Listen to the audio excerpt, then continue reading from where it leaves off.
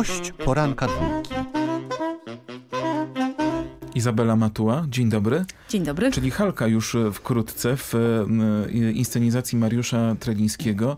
E, wielkie emocje nam towarzyszyły, kiedy najpierw dawno, dawno temu dotarła do nas ta informacja, że dzięki staraniom Piotra Beczały na ukoronowanie roku Moniuszkowskiego będzie Halka w Wiedniu. Później obserwowaliśmy przygotowania.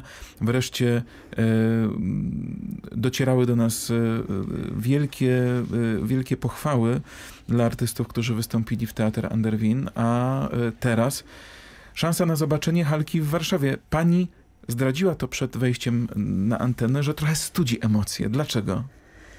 Studzę emocje, ponieważ ta inscenizacja jest nieprawdopodobnie emocjonalna. To jest wyciągnięcie 100% emocji z, y, z, każdego śpiewaka, aktora. Także tuż przed premierą myślę, że dobrze jest troszeczkę ostudzić emocje, skupić się na muzyce, na tym, co mam zrobić na scenie, a tuż przed wejściem jednak je znowu obudzić i po prostu wejść w, w 100% w rolę. Na nowo? Na nowo. To jest trudne, zwłaszcza, trudne. że państwo y, powracają do czegoś, co, co było przygotowywane, bo to też chyba możemy zdradzić, że od jesieni, wczesnej jesieni. Od, od 2 września, tak. No czyli jeszcze od, od lata formalnie. Od lata. E, trwały przygotowania. Później ta produkcja przeniosła się do Wiednia z, z tamtą częścią ekipy, która tak, pracowała tak. nad grudniową premierą a teraz Państwo e, wchodzą w te, w te buty, które już zostały wypróbowane. Są, no właśnie pytanie, czy są wygodne? Czy trochę trzeba wrócić i je na nowo rozchodzić?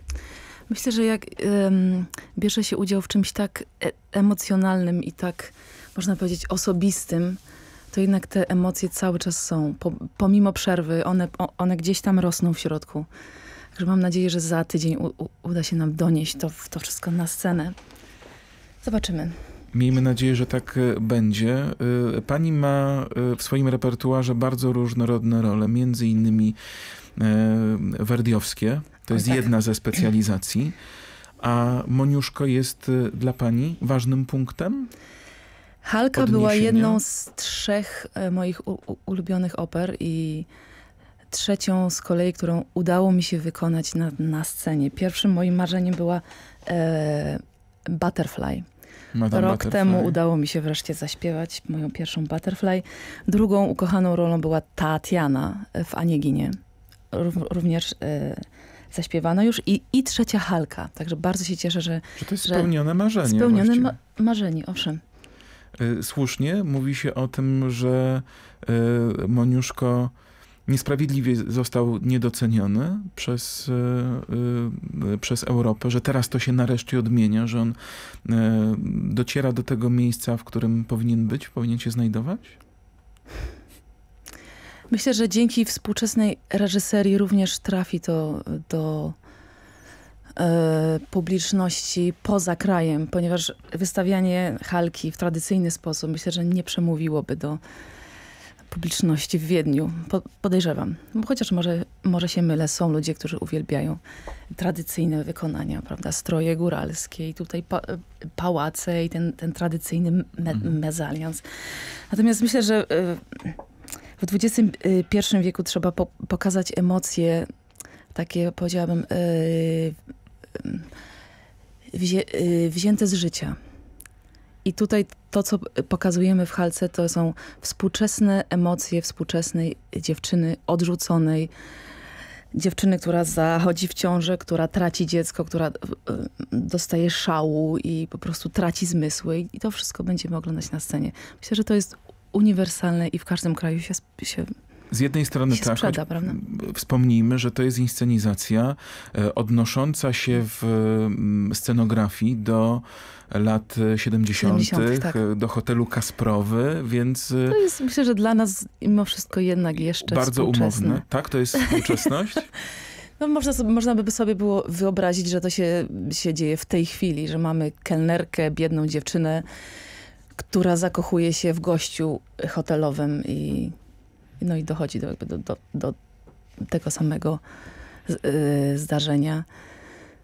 Czy to są lata 70., czy by to, było, czy by to się działo teraz? Myślę, że to jest tak samo współczesne. Znaczy pytania, pytania, czy właśnie w którym momencie, czy tamtym, czy, czy tym te napięcia pomiędzy warstwami społecznymi są większe? No tutaj mamy napięcie społeczne ze względu na status finansowy. Już nie jest mezalians yy, społeczny, tylko bardziej właśnie finansowy. Mamy Janusza, który próbuje się wkupić w bogatą ro e, rodzinę, czyli jakby podnieść swój status finansowy. I mamy dziewczynę, która musi pracować jako kelnerka, no ze względu na, na to, że, że jest yy, sierotą, że nie ma jakby ża żadnego wsparcia finansowego. Także no, mamy mezalians troszeczkę inny. Mamy mezalians finansowy, mamy taki o bardzo... O tym właśnie mówię. Pytanie... Gdzie... Współczesny mezalians. Współczesny, ale y, on doskonale y, y, odpowiada na dylematy, które pewnie towarzyszyły poprzedniemu pokoleniu w latach 70. Też ogromnej rzeszy osób, która nie miała właściwie, czy, czy, czy, podobnie na podobnym statusie i tej garstce wybranych, no bo to też jest właśnie taka, tak, taka opowieść, a dziś z kolei wrażenie, że yy, kiedy, kiedy się wchodzi w dorosłość, że ma, ma się o ten amerykański sen, że on się spełnia, a dopiero później odkrywanie kolejnych sufitów, które są szklane, a właściwie sky is the limit, nie ma, nie ma, nie ma granicy, nie, nie ma, prawda? prawda, ten apetyt można poskramiać yy, cały czas i nigdy nie czuć satysfakcji. Owszem. Yy, Halka 11 lutego informacje o tym, jak przebiegają przygotowania, między innymi w czwartkowej audycji z cyklu przed premierą, to o 21.30. Jaki to będzie dla pani rok 2020, trwający? Tak pięknie się rozpoczyna od spełnionego marzenia. Od spełnionego marzenia. W tym sezonie mam, mam jeszcze dwie premiery.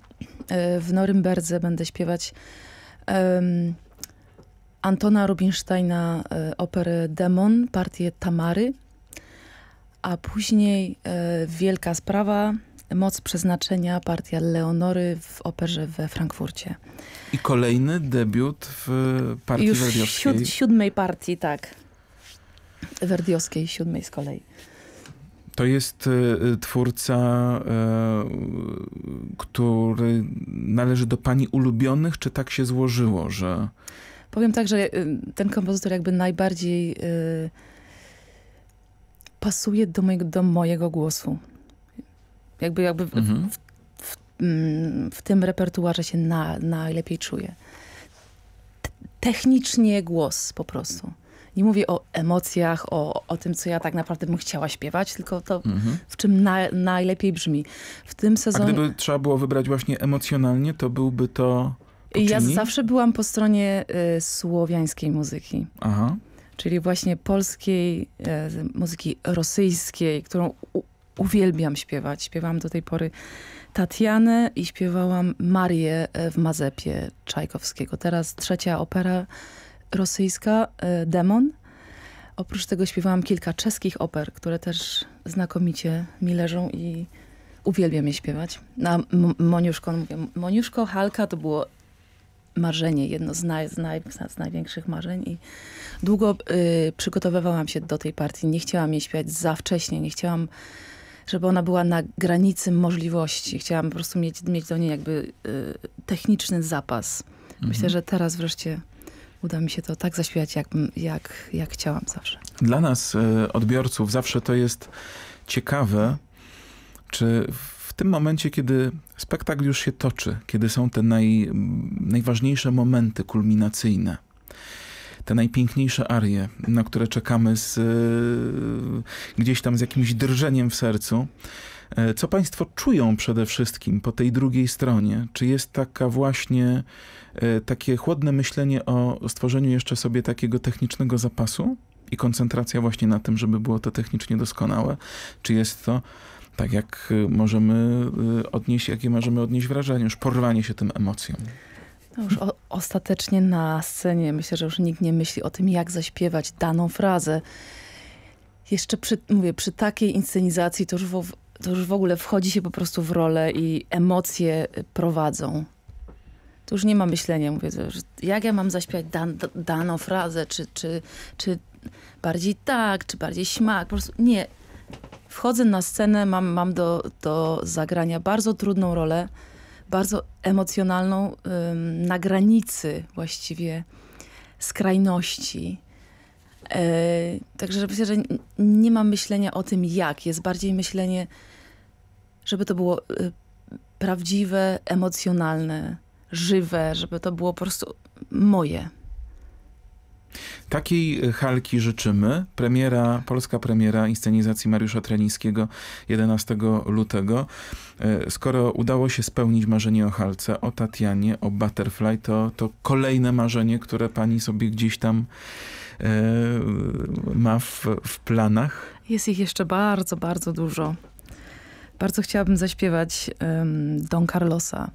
Chciałabym zaśpiewać Falstaffa na mm. przykład, czyli zupełnie od innej strony, od strony y, kom komediowej w Falstaffie właśnie. Bar bardzo mnie to interesuje. Um, no mówię, jest bardzo dużo jeszcze rosyjskich oper, czeskich oper, które, które bardzo bym chciała zaśpiewać. Miałam możliwość zaśpiewania swojego pierwszego Wagnera. Mam, mam, mam nadzieję, że mi się jeszcze zdarzy Wagner w przyszłości. No i jeszcze, jeszcze w tych Verdi jest sporo, Puccinich jest sporo. Jeszcze, mówię, dużo.